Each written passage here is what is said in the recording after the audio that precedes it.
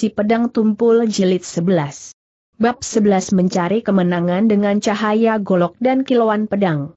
Setelah 40 jurus berlalu kedudukan mereka tetap seimbang, Beng mulai tidak sabar, serangannya semakin hebat, Goan Hyong ingin menghindarkan bentrokan dengan pentungannya tapi sulit, Goan Hyong tetap berusaha setelah 50 jurus berlalu tiba-tiba Chia Beng mendapat kesempatan, dengan pentungannya ia menyerang miring, serangan Goan Hyong tidak mengenai sasaran, tapi ingin berbalik bertahan sudah tidak sempat lagi.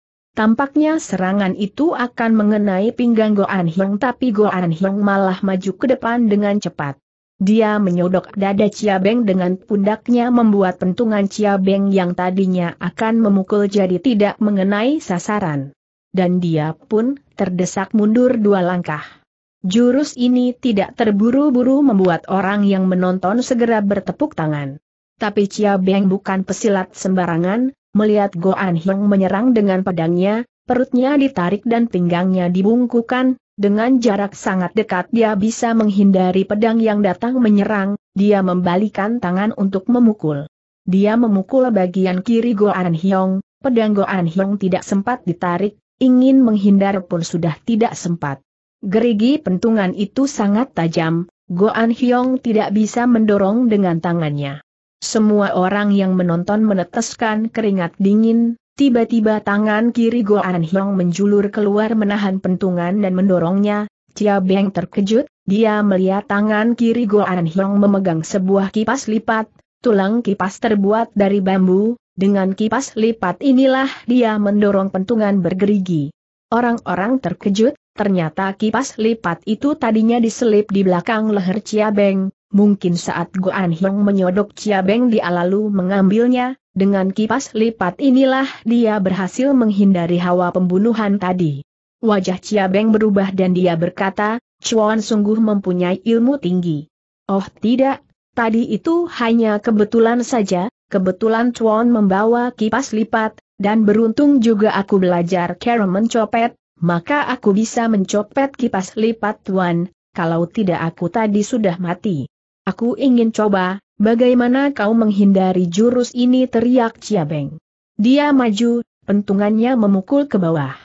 Tenaganya sangat kuat, melihat lawan datang menyerang dengan hebat, dia menahan dengan pedang pada posisi horizontal, tapi pedang tidak bisa bertahan terhadap tenaga sebesar itu, pedang dan pentungan patah jadi. Dari dalam pentungan keluar asap berwarna kuning. Goan Hyong tidak sempat menghindari dia membuka kipas lipat itu dan segera mengipas asap kuning itu ke wajah Chia Beng. Chia Beng tidak terpikir akan tindakan Goan Hyong, dia pun tidak sempat menghindar dan dia menghisap asap kuning itu. Mereka saling berhadapan dengan lama, Chia Beng baru tertawa dingin, Metu Chuan benar-benar jeli, kau mengira di dalam sana ada senjata rahasia, tapi mengapa kau tidak terpikir ada mainan lain?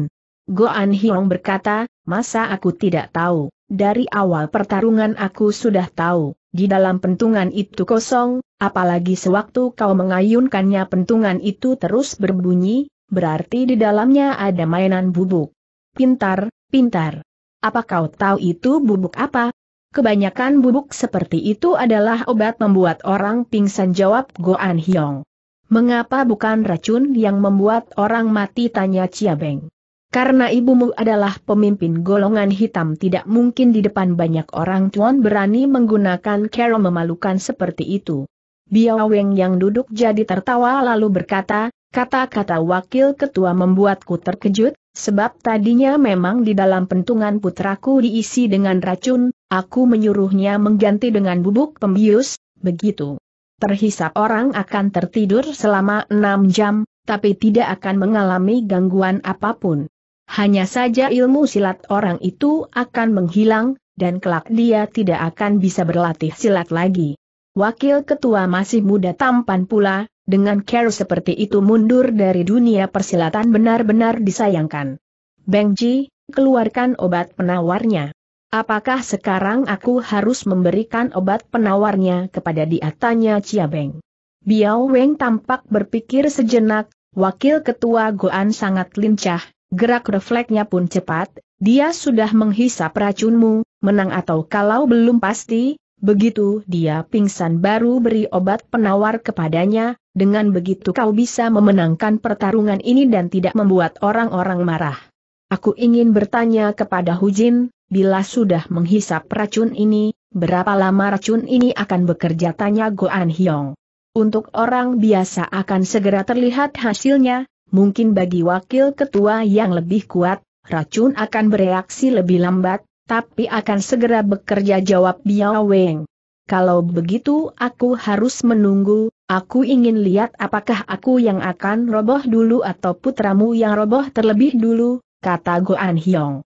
Aku punya obat penawarnya, begitu aku akan roboh aku akan segera meminum obat penawarnya, obat itu akan segera menawarkan racun, dan Chuan pasti akan kalah kata Beng. Kata Goan Hyong, lebih baik kita tunggu sebentar, mungkin aku mempunyai cara lebih cepat mendapatkan obat. Penawarnya, yang penting siapa yang roboh terlebih dulu dia yang kalah.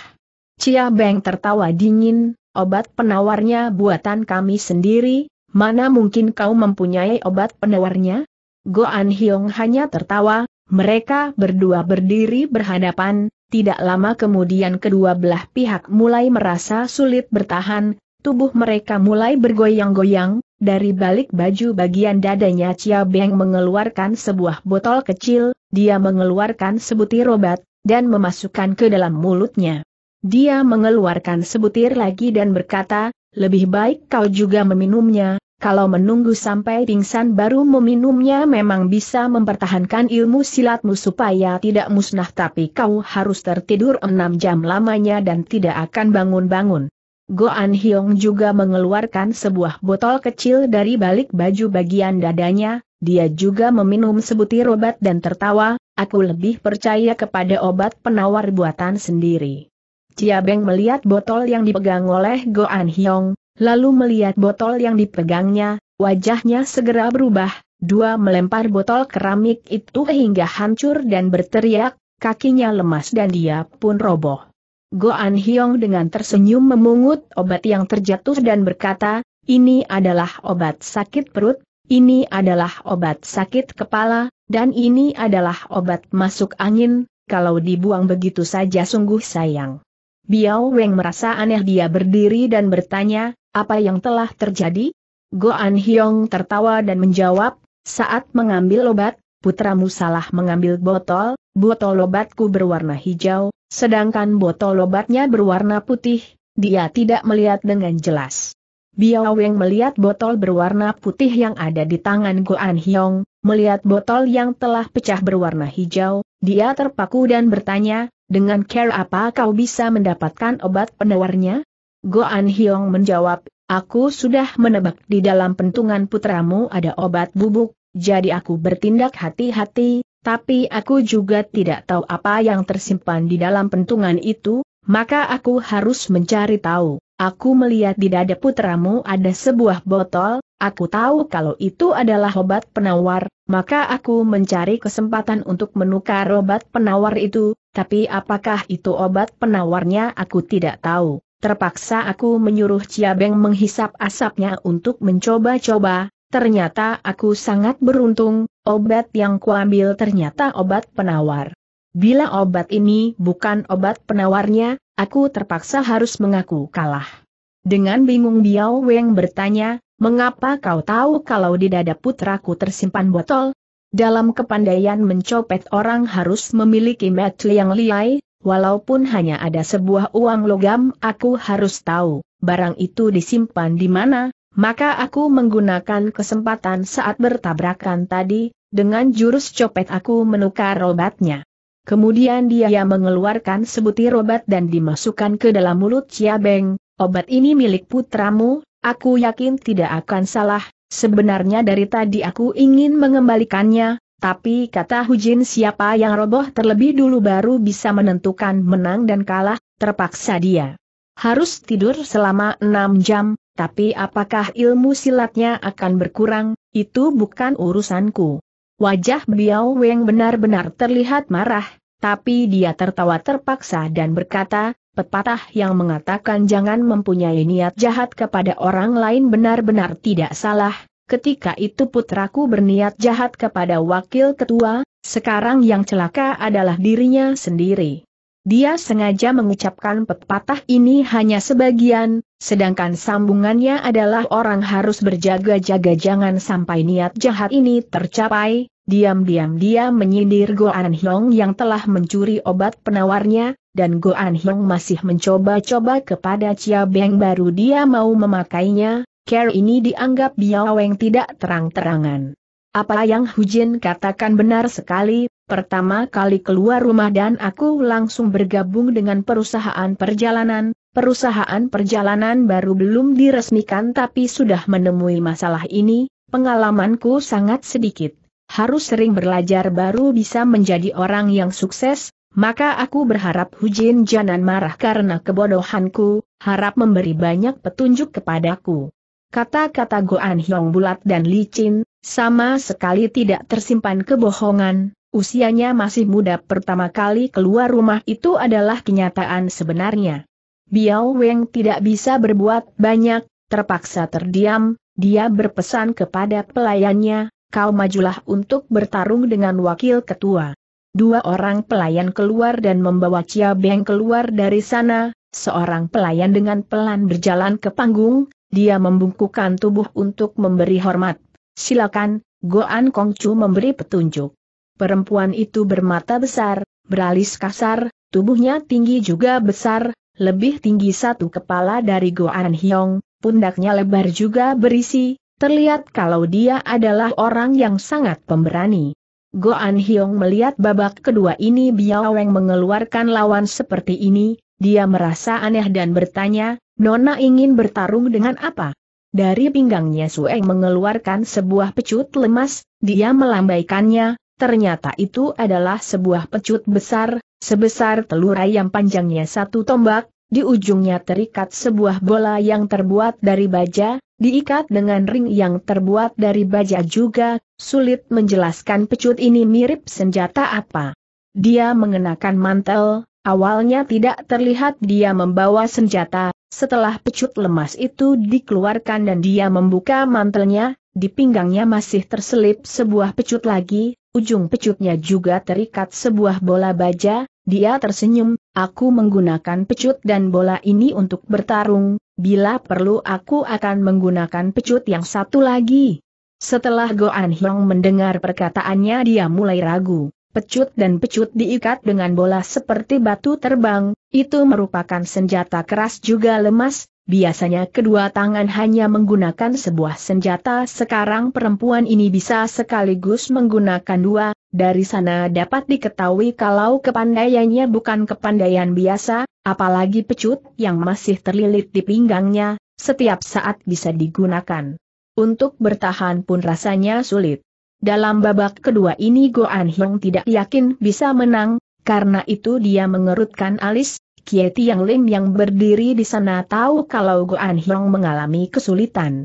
Dengan cepat dia berkata, Goan Hyantit, kau kembali untuk beristirahat dulu, biar pengurus Soh yang melanjutkan pertarungan.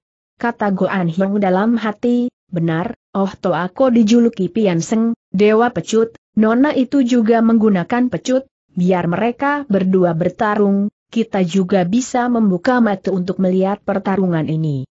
Alis Sueng bergerak dan dia berkata, apakah Goan Kongcu menganggap aku tidak pantas untuk bertarung dengan Anda? Bukan begitu, pecut adalah senjata yang paling lihai dari semua jenis senjata, harus ada lawan yang pantas baru bisa terlihat kehebatan pecut itu, aku hanya bisa beberapa jurus pedang dan ilmu copet, Bila digunakan kepada nona itu sungguh tidak pantas, oh to aku adalah Pian Seng, ilmu pecutnya adalah warisan dari keluarganya, dia yang pantas menggantikan aku, ini adalah cara kami menghormati nona.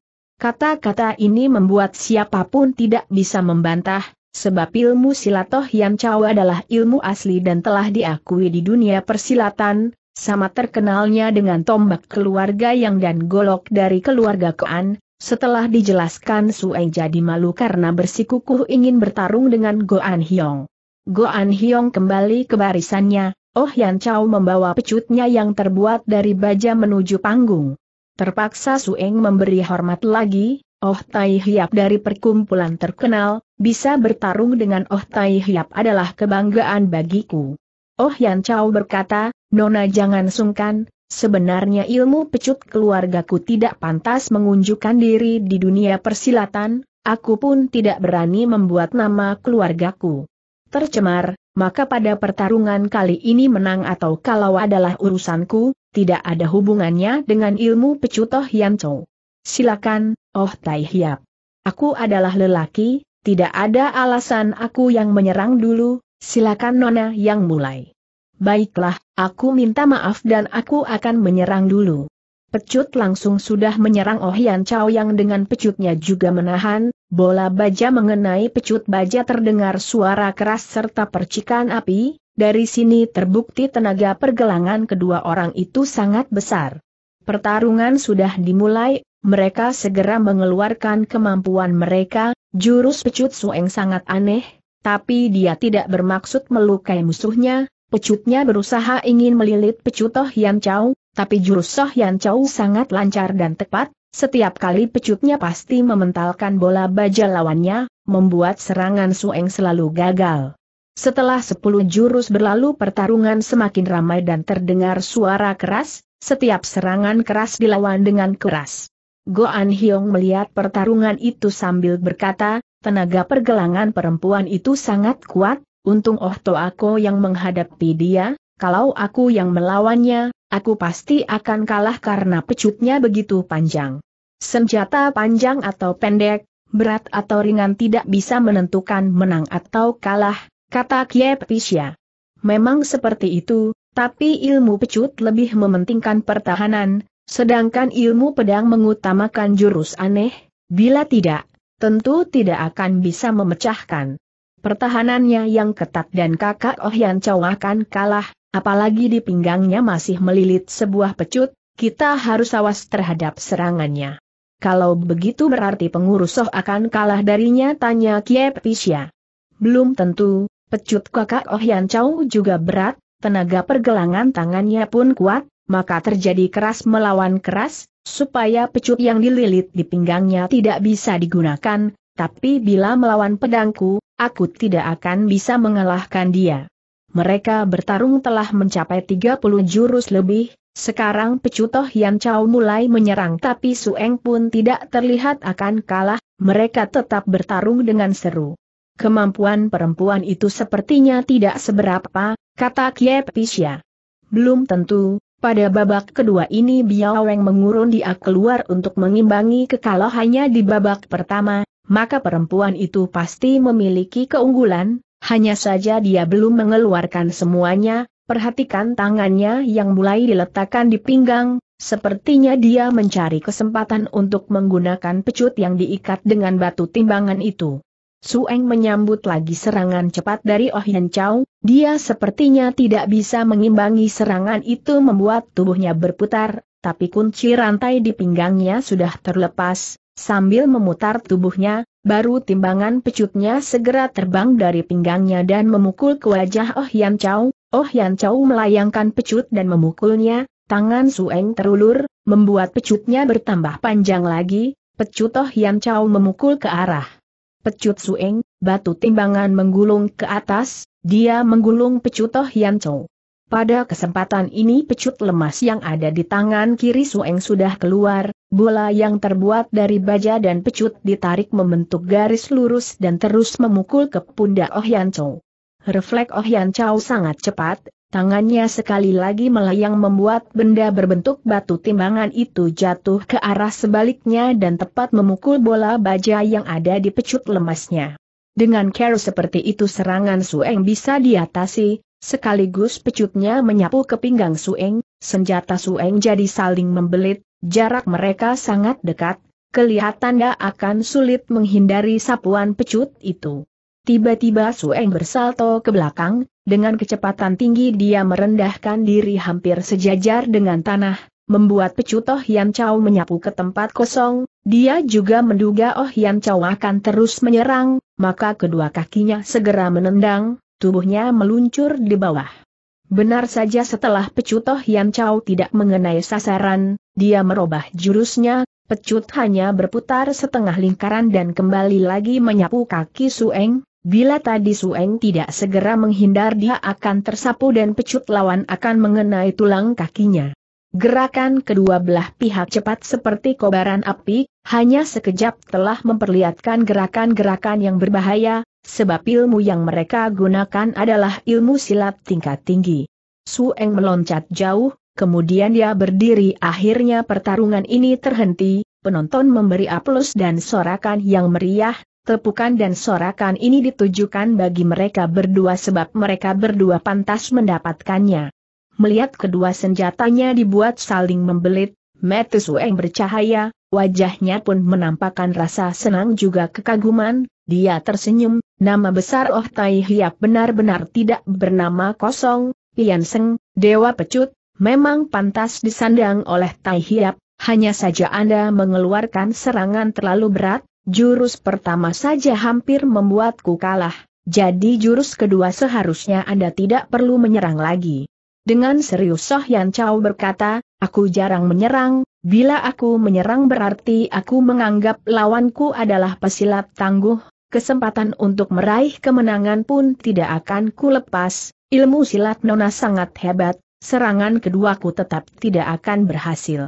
Kalau begitu berarti jurus yang Tai Hiap keluarkan kurang ganas? Padahal dalam situasi tadi seharusnya Tai Hiap tidak menyapu secara horizontal tapi menyapu dengan lurus. Bila menyapu secara lurus aku tentu tidak akan bisa menghindar kata Sueng.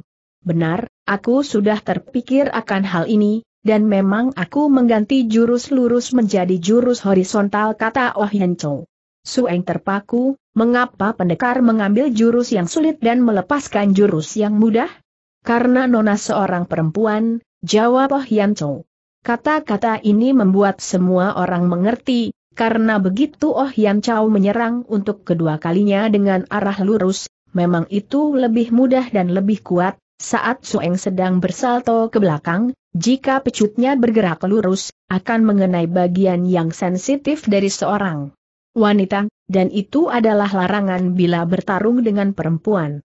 Sueng tersenyum dan berkata, sungguh Oh Tai Hiap seorang laki-laki sejati, aku tidak perlu banyak bicara lagi, mari kita teruskan pertarungan ini. Tangan kirinya bergetar, batu timbangan mulai berputar lagi, Oh Yan Chow memecut ke arah batu timbangan itu membuat batu itu bergoyang ke tempat lain dan tepat membelit pecut lemas itu. Karena jaraknya sangat dekat Toh Yan Chow tidak memaksa maju, tapi tangan kanan Sueng dikendorkan pecutnya mengikuti pecut yang satu lagi terbang menyerang.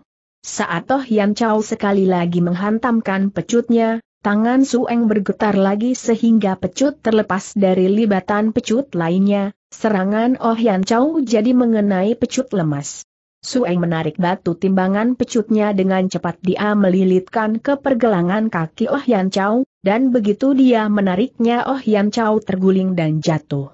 Setelah Sueng menarik kembali pecutnya, dia tertawa dan berkata, kalau bukan karena Oh Tai Hiap tadi bersikap sopan, aku akan membuat Anda jatuh lebih parah lagi. Oh Yan Chow merangkak bangun, dia memberi hormat, jurus Nona sangat hebat, aku mengaku kalah. Pengurus Soh Yan Chow, masa kau begitu mudah sudah mengaku kalah tanya Kiep Pisya. Tekniku sudah kalah, apa yang bisa kukatakan jawab Oh Yan Chow. Tapi sebenarnya kau bisa menang darinya jawab Kiep Pisya. Kalau tadi aku menyerang secara lurus, dia juga akan menyerang lurus, mungkin dua-duanya akan kalah bahkan terluka kata Oh Yan Chow. Pemikiranku juga demikian, maka aku merasa kau tidak perlu mengaku kalah, kata Kiep Pisya. Oh Yan Chow tersenyum, jangankan kalah dan keduanya terluka, kalau bisa menang pun aku tidak akan menggunakan care ini menghadapi seorang perempuan. Kiep Pisya berpikir sebentar, benar juga, kesopanan seorang pesilat lebih penting dibandingkan menang atau kalah, oh toh aku sudah lelah, kembalilah untuk beristirahat. Oh Yan Chow kembali ke tempatnya dengan tenang, hal ini membuat para pendekar golongan hitam merasa aneh, dalam pertarungan ini terlihat Oh Yan Chow yang kalah, tapi apa yang dikatakan Oh Yan Chow tadi bahwa dua-duanya bisa kalah dan terluka, itu juga masuk akal. Ilmu silat Sueng memang hebat tapi kalau dari pertama sudah dikeluarkan belum tentu dia yang akan menang. Sebenarnya dia sudah kalah lebih dulu, walaupun terakhir Sueng yang menang tapi Biaweng yang menjadi tuan rumah tidak menganggap itu adalah kemenangan, dia menganggap kedudukan mereka seimbang dan harus terus bertarung, tidak disangka Oh Yan Chow mengaku kalah, ketua Kie pun mau mengaku kalah. Satu pihak mengaku kalah, yang pasti pihak yang lain menang, tapi kata-kata Oh Yan Chow tadi membuat pihak yang menang tidak merasa bangga. Biao Weng berpikir. Sebentar baru berkata, Oh Tai Hiap memang mengaku kalah, tapi kami juga tidak terima kemenangan ini. Mengapa? Aku memang sudah kalah. Biao Weng tertawa dingin, karena Oh Tai Hiap menang terlebih dulu dan pelayanku baru menang belakangan. Aku tidak menang, kalau kalah itu memang benar. Itu karena Oh Tai Hiap merasa sungkan, sebenarnya pelayanku tidak ingin bertarung keras lawan keras, dia hanya berusaha menghindar, bila Oh Tai Hiap dari awal sudah sungguh-sungguh menyerangnya, pelayanku pasti akan kalah. Dalam keadaan seperti itu walaupun pelayanku ingin menekan hanya ada kesempatan satu persen menang, dan satu persen lagi akan membuat kedua-duanya terluka, untuk kemenangan ini, kami benar-benar malu menerimanya. Dengan serius Soh Yan Chow berkata, Nona Sueng tidak menyerang lebih dulu, karena dia percaya aku bukan orang yang hanya mencari kemenangan dengan segala cara. Untung aku juga tidak ingin mengambil kesempatan saat berbahaya untuk memenangkan pertarungan, maka kami berdua tidak terluka, tapi pertarungan terakhir aku memang sudah kalah. Biao Weng tidak bisa berkata apa-apa lagi, kalau Oh Tai Hiap berkata demikian, terpaksa kami menerimanya, tapi kami tetap merasa kemenangan ini tidak jelas, baiklah, Pertarungan ronde ketiga aku harap ada orang yang bisa memberi pelajaran kepada pelayanku ini. Kiepisya membuka jubahnya, dan berkata, baiklah, aku yang akan bertarung pada ronde ini. Goan Hyong terpaku, mengapa kau harus lebih awal bertarung? Sebab di pihak kita hanya ada seorang perempuan, jika digantikan dengan orang lain keadaannya akan sama seperti Oh aku tadi, Sewaktu ada kesempatan menang dia malah ragu, tangan dan kakinya seperti terkekang. Biao Weng berkata, ketua tidak perlu menyindir, sekarang lebih baik kita jelaskan dulu kepada semua orang supaya tidak terkekang. Dengan santai Kiepi siap berkata, tidak usah, kami terlibat dalam usaha perusahaan perjalanan juga mempunyai prinsip tidak melukai sesama manusia dan bertarung harus secara jujur. Yang kumaksud dengan terkekang adalah permintaan kepadanya tidak berbuat canggung agar diperlihatkan kepada orang lain, kalau tidak kami juga bisa dimasukkan ke dalam golongan hitam dan merampok dengan sepuasnya, untuk apa menjual nyawa membuka perusahaan perjalanan kalau hanya untuk mendapatkan keuntungan sedikit? Kata-kata ini terlalu berat, membuat orang-orang golongan hitam tersinggung, wajah Biao Weng berubah-ubah, apakah ketua perusahaan menganggap kami tidak ada orang yang baik? Kiepi Sia tertawa dingin, Ye Utatong dulu merampok juga memperkosa, karena membela kebenaran ayahku menyingkirkannya, apakah tindakannya salah? Mengapa golongan hitam mau saja mendukung dia dan mencari ayahku untuk membalas dendam? Dia menunjuk keluarga Yeu yang terdiri dari paman dan keponakan, kata-kata ini membuat Biaweng tidak bisa menjawab, tapi dia adalah orang yang pembawaannya tenang, dia berpikir sebentar lantas menjawab, golongan hitam selalu tidak mengizinkan terjadi perkosaan, kematian Yu Tatong pantas diadapatkan tapi kami dari golongan hitam tetap mempunyai aturan tersendiri untuk menghukumnya, tidak perlu ayahmu yang melaksanakan tugas kami. Kiepisia yang masih muda tidak bisa menjawab pertanyaan ini tapi Goan Hyong dengan tertawa berkata, kata-kata Hujin memang masuk akal, tapi Lantian Siang Set dulu begitu jahat dan bertindak sesuka hati, aku kira kejahatan mereka bukan itu saja, mengapa golongan hitam tidak pernah menghentikan perbuatan mereka? Saat itu suamiku yang berkuasa, mungkin dia tidak mendengar perbuatan mereka jadi tidak mengambil tindakan tepat, sebelum Kie Tiang Lim membunuh Ye Utatong apakah pernah memberitahu dulu kepada suamiku? Kalau sudah berarti suamiku sudah tahu tapi tidak melaksanakan tugasnya, sekarang aku adalah pemimpin golongan hitam, aku jamin tidak akan timbul hal seperti itu lagi. Kalau begitu berarti Hujin setuju kalau Ye Utatong memang pantas dibunuh tanya Goan Hyong. Jawab Biao Weng, harus dibunuh. Tapi jangan dilakukan oleh Kie Tiang Lin, mengenai balas dendam aku tetap mendukung mereka. Kita tidak perlu bicarakan hal lain lagi, tentang balas dendam ini ayahku yang bertanggung jawab, sekarang atas nama perusahaan perjalanan Suhai mari kita bertarung. Biao Weng tersenyum, baiklah, aku mempunyai delapan orang pelayan, apakah ketua perusahaan sanggup melayani mereka? Mengandalkan perempuan bertarung, sampai mati kelelahan aku terima, jawab Kie Pisya. Kata-kata ini sangat liai, membuat Biaweng tidak bisa menjawab, dia tertawa dingin, baiklah, asal ketua perusahaan bisa mengalahkan pelayanku aku tidak akan menyuruh mereka bertarung lagi. Dengan santai Kie Pisya menjawab, tidak perlu sampai begitu, Kulihat ilmu silat delapan pelayanmu lebih tinggi dari orang-orang golongan hitam.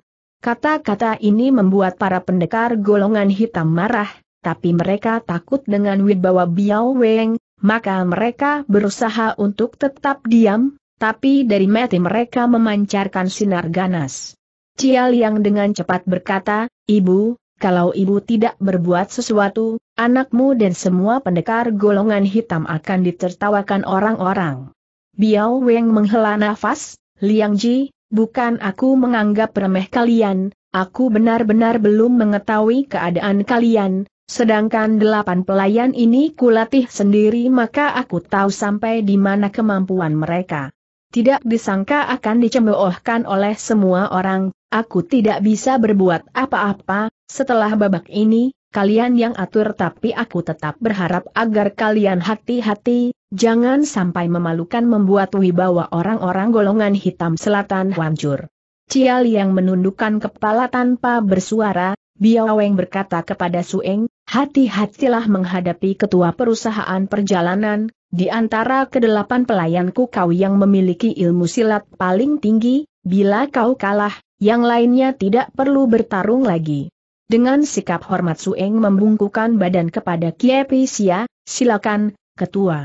Dengan tenang Kiepi Sia mencabut pedangnya, jangan sungkan, ilmu silatku tidak lebih tinggi dari Ohto Ako, aku sudah lama berada di bawah naungan ayah untuk mendapatkan posisi ini, walaupun kau bisa mengalahkanku bukan berarti kau bisa menghancurkan perusahaan perjalanan Suhai.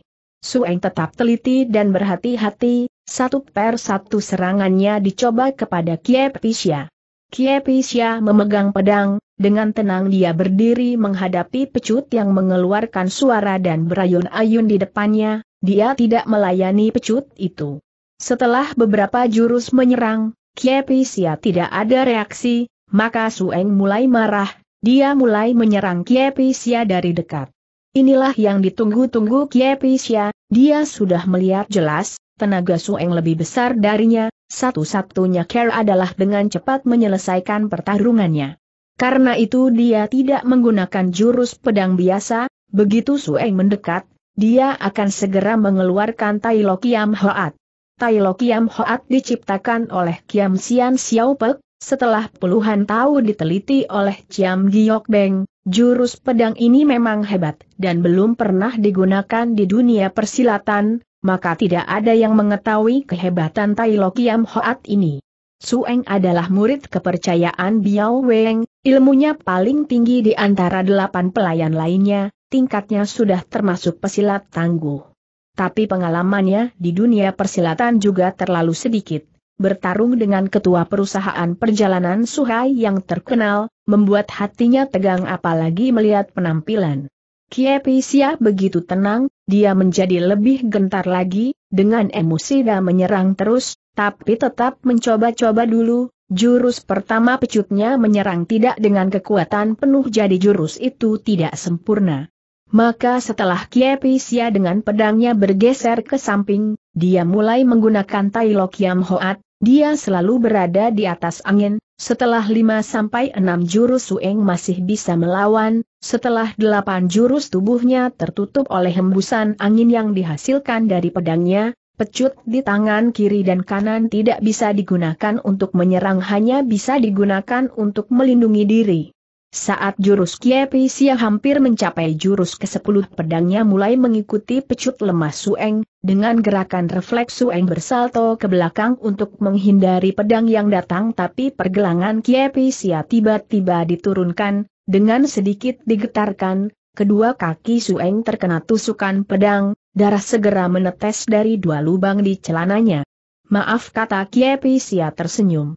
Dia membawa pedangnya kembali ke tempatnya, Pertarungan ini paling tenang, Sueng hanya menyerang satu jurus, kemudian semua pertarungan dikuasai oleh Kie Xia, melihat saat dia mengalahkan Oh Yan Chao begitu ganas tidak disangka saat bertarung dengan Kie Xia dia begitu tidak berdaya, tapi kekalahan yang dialami olehnya tidak ada seorang pun yang menyalahkannya, sebab jurus yang Kie Xia keluarkan memang ilmu pedang tingkat tinggi, di antara para pesilat tangguh banyak yang menggunakan pedang tapi tidak ada seorang pun yang tahu jurus apa yang digunakan oleh Kie Pisya.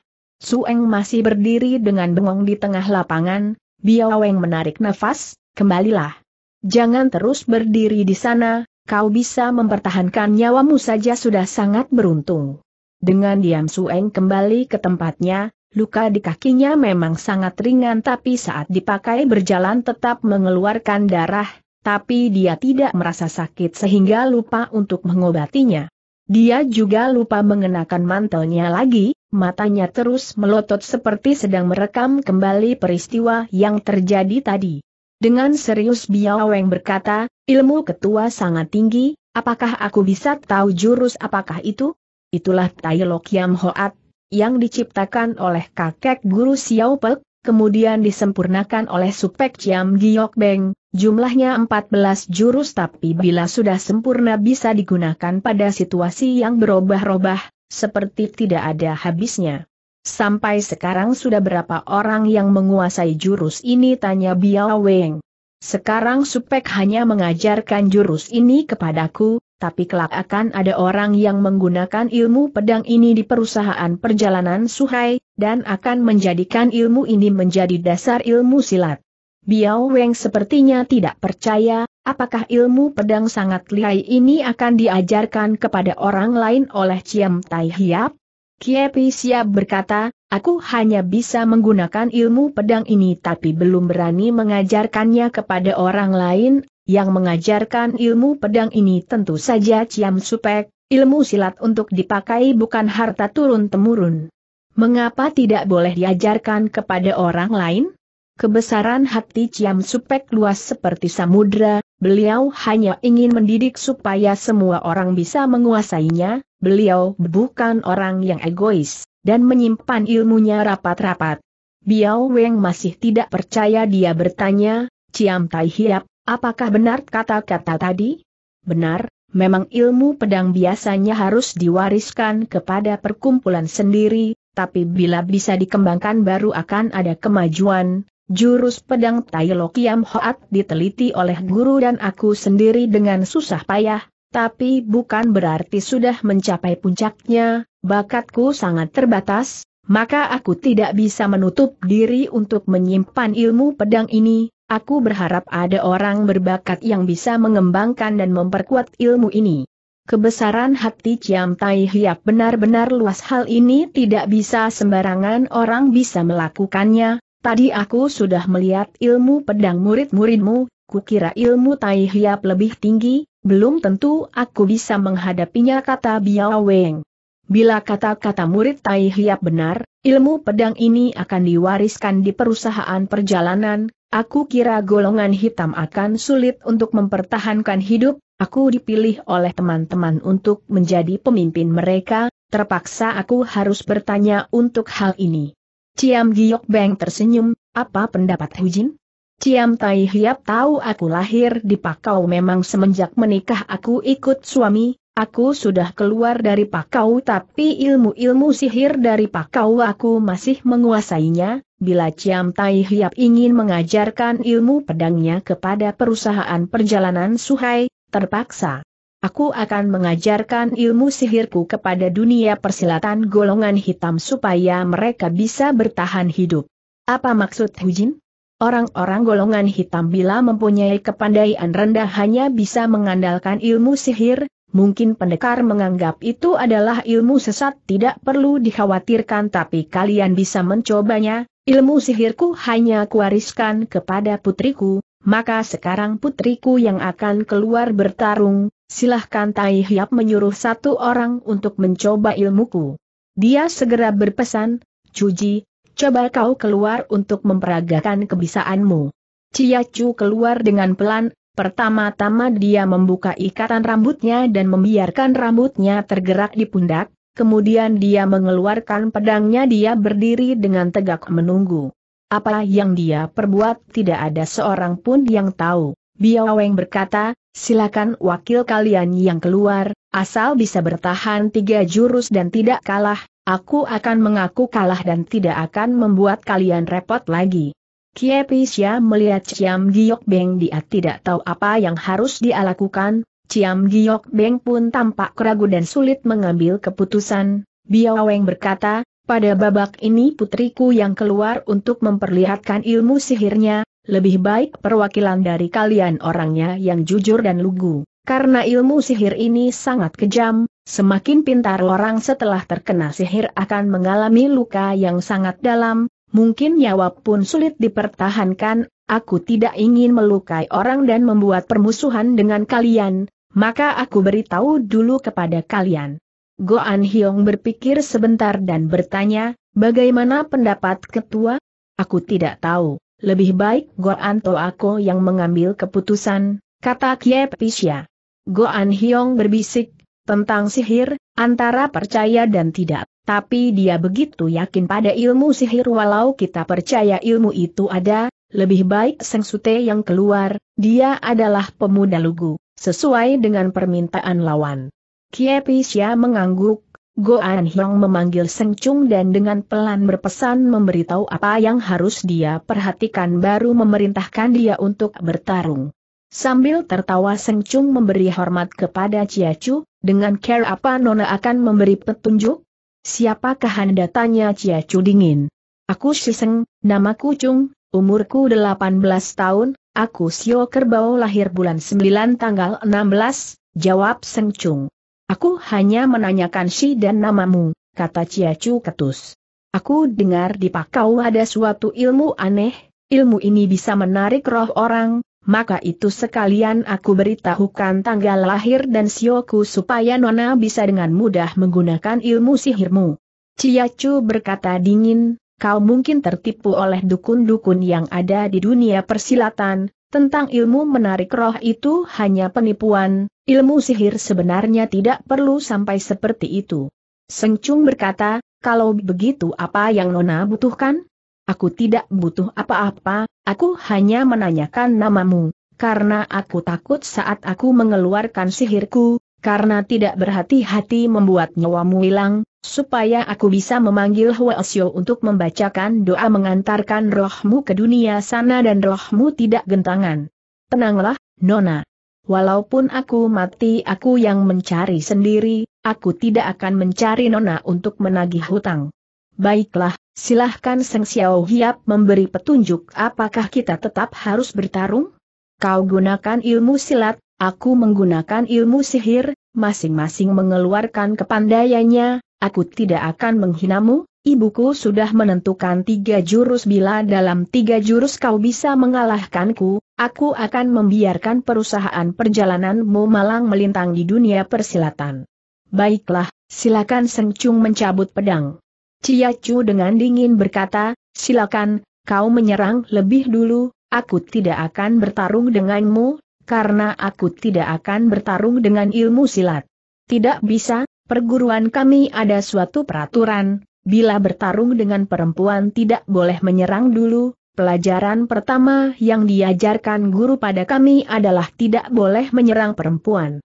Cia Chu tertawa dingin, apakah kau kira kau bisa menghinaku?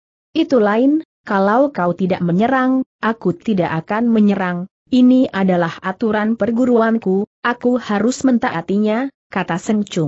Dengan marah Cia Chu berjalan, tiba-tiba dia menyerang dengan pedangnya, Seng mengangkat pedangnya untuk menahan, saat kedua senjata bentrok, dari pedang Cia Chu mengeluarkan asap berwarna hijau.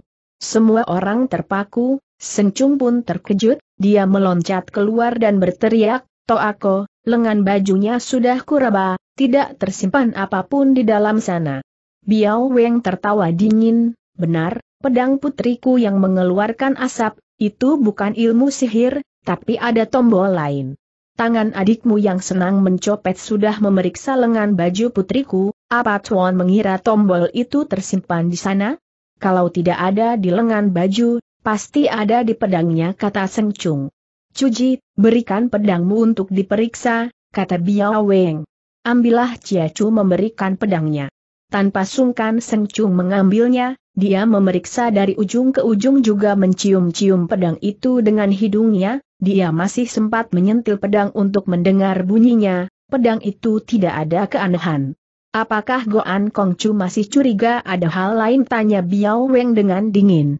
Sementara ini tidak ada, dari awal sampai akhir aku tidak percaya pada sihir itu jawab Goan Hyong.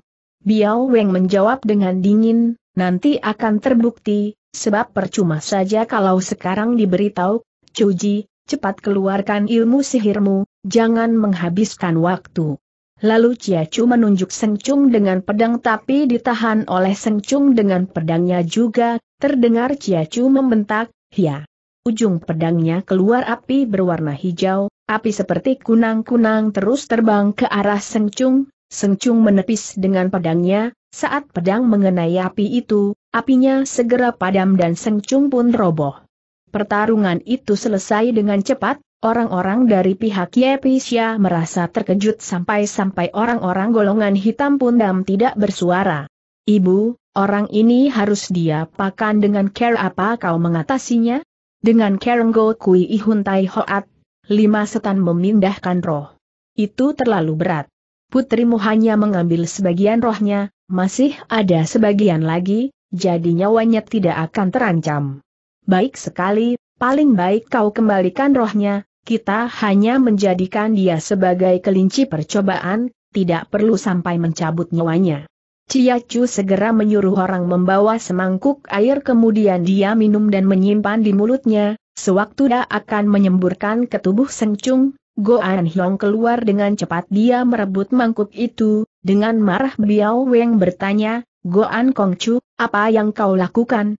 Aku hanya ingin memeriksa suteku, Apakah benar dia terkena ilmu sihir atau masih ada sebab yang lain?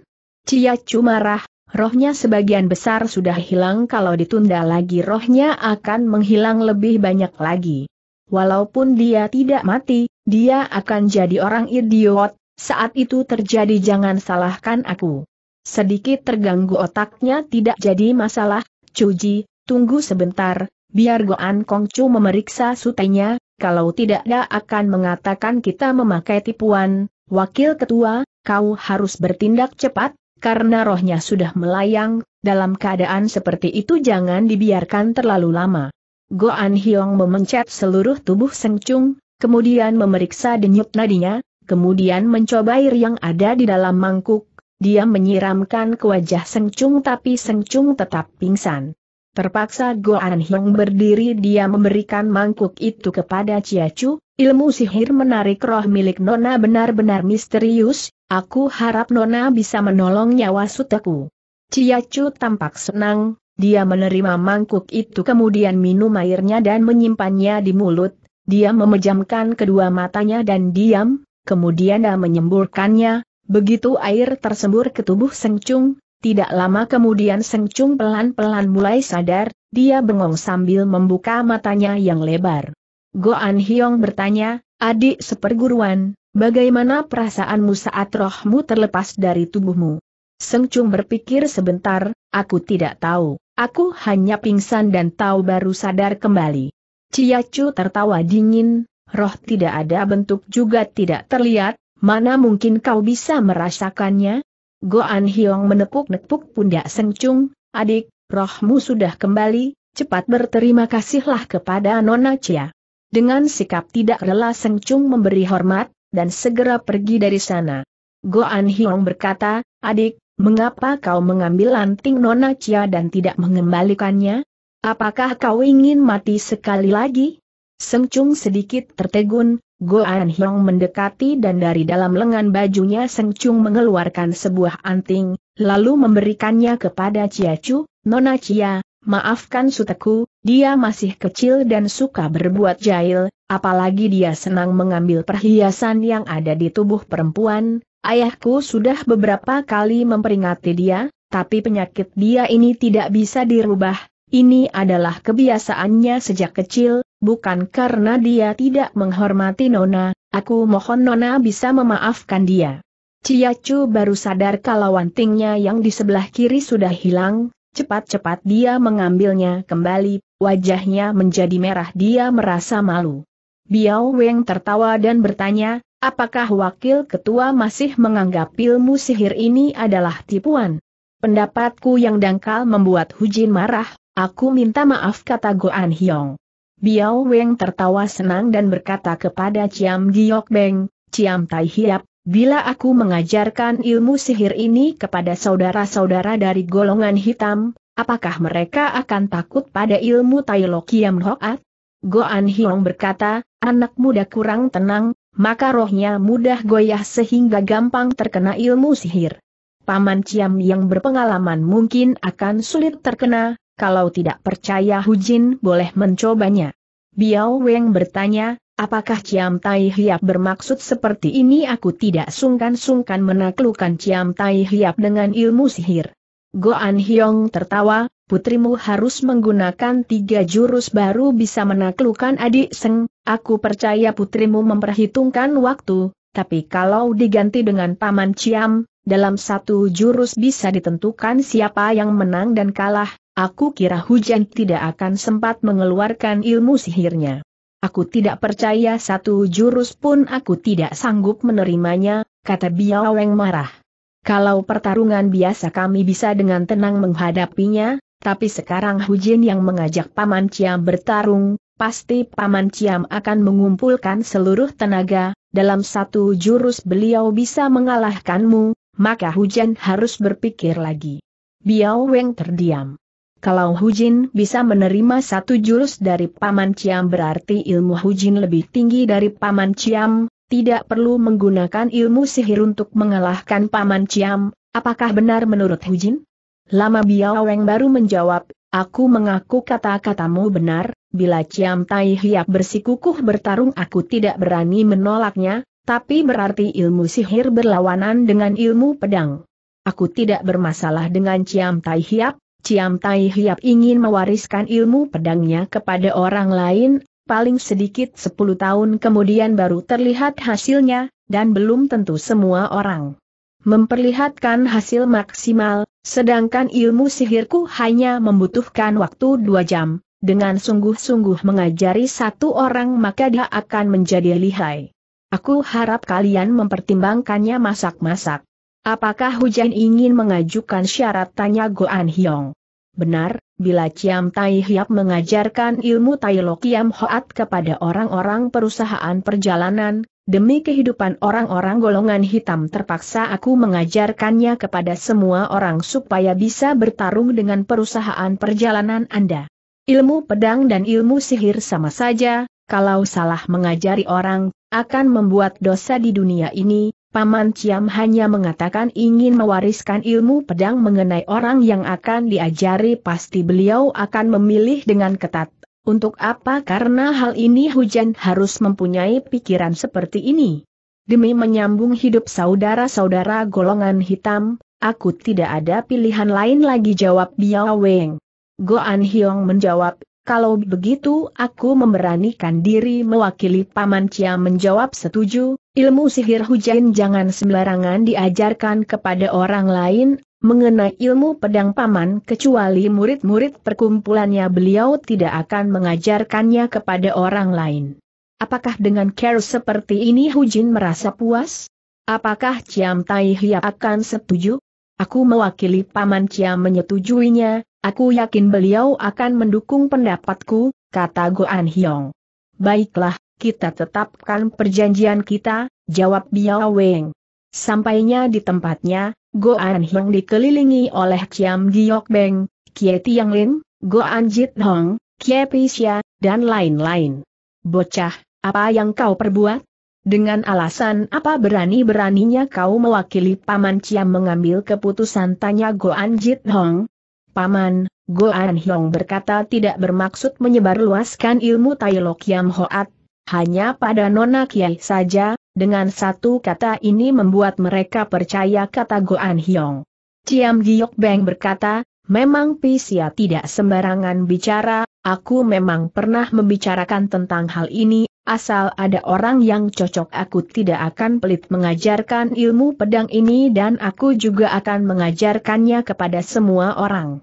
Aku tidak sembarangan mengambil keputusan, yang akan diajari oleh Paman Ciam pasti murid-murid Paman Ciam sendiri, dengan care ini mencegah supaya ilmu sihir pakau jangan disebarluaskan, aku kira ini adalah jalan yang terbaik. Apa yang kau mengerti, bocah? Aturan Pakau sangat ketat, apalagi ilmu sihirnya tidak mudah diwariskan, Biaweng hanya menakuti orang-orang kata Goan Jit Hong. Aku tahu, apa yang Ciacu perlihatkan tadi bukan sihir, ilmu sihir dari Pakau diturunkan pada menantu perempuan, tidak diturunkan kepada anak perempuan, karena takut ilmu sihirnya disebarluaskan, Biao Weng sendiri tidak begitu banyak menguasai ilmu ini, apalagi Ciacu kata Goan Hyong. Dengan terkejut Kieti yang Lim bertanya, bukan ilmu sihir, lalu ilmu apa? Dengan pelan Goan Hyong menjawab, sampai sekarang aku hanya bisa mengatakan kalau itu adalah semacam obat yang membuat orang pingsan, obat apakah itu harus diteliti dulu oleh Puiji Siok, baru kita tahu. Dengan terkejut Kiepi Siah berkata, aku tidak melihat dia menaburkannya. Caranya menaburkan obat itu menggunakan teknik sangat tinggi, kalau kita tidak melihatnya dengan teliti kita tidak akan tahu, Sencung sendiri pun tidak melihatnya. Kenapa kali ini aku juga tidak melihat tempat di mana dia menyimpannya, padahal aku terus mengawasi, tapi aku tidak melihat ada celahnya? Goan Hyong membuka telapaknya, di tangannya ada sejumput rambut, Kiepi siap bertanya, dari mana kau mendapatkannya? Dari pinggir telinga Ciacu, sebenarnya anting itu aku yang ambil, supaya dia tidak mencurigaiku, aku sengaja meletakkan di lengan baju adik sengkata Goan Hyong sambil tertawa. Goan To aku benar-benar seorang playboy, masih sempat memotong rambut seorang gadis dan menyimpannya. Goan Hyong dengan sedikit gugup berkata, Nona Kie, jangan salah paham, aku bukan tipe orang seperti itu, obat yang membuat adik Seng pingsan berada di rambutnya. Dari mana kau bisa tahu? Tanya Kie Tiang Lim. Julukan Biaweng yang membuatku curiga, dia disebut Long Li Heksai, rambut yang ada di kepalanya tidak ada satupun yang berwarna putih, itu sangat cocok dengan julukannya, bisa dikatakan dia bisa menjaga rambutnya yang bagus, tapi sewaktu aku melihat dengan teliti, akar rambutnya.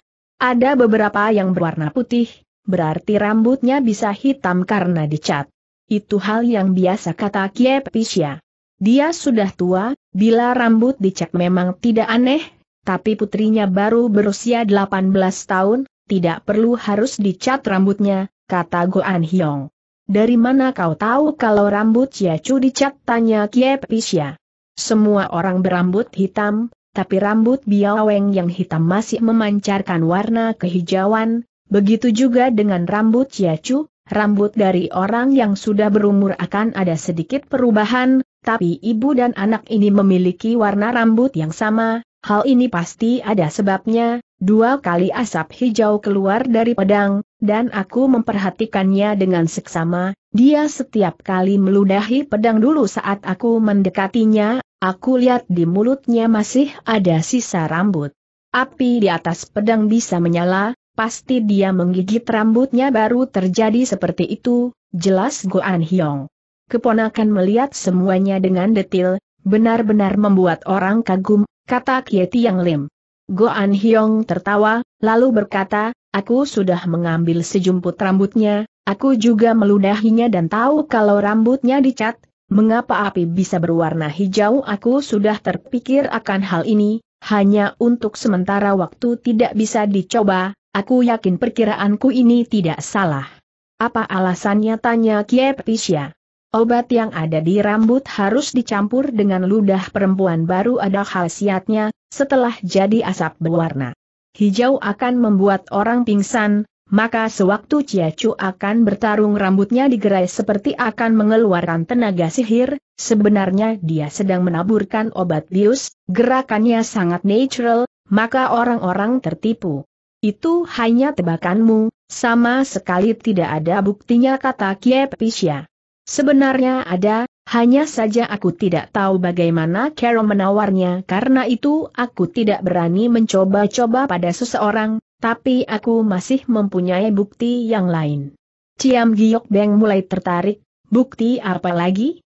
Aku sengaja membuat Paman Ciam bertarung dengan Biao Weng, dia segera setuju, dari sana dapat diketahui yang dia gunakan bukan ilmu sihir, Kemudian aku mengatakan kalau Paman Ciam dalam satu jurus bisa mengalahkan dia, dia segera mundur, kalau dia menggunakan ilmu sihir, dia bisa menggunakan sihirnya sebelum bertarung dengan Paman Ciam, tidak perlu khawatir seperti itu.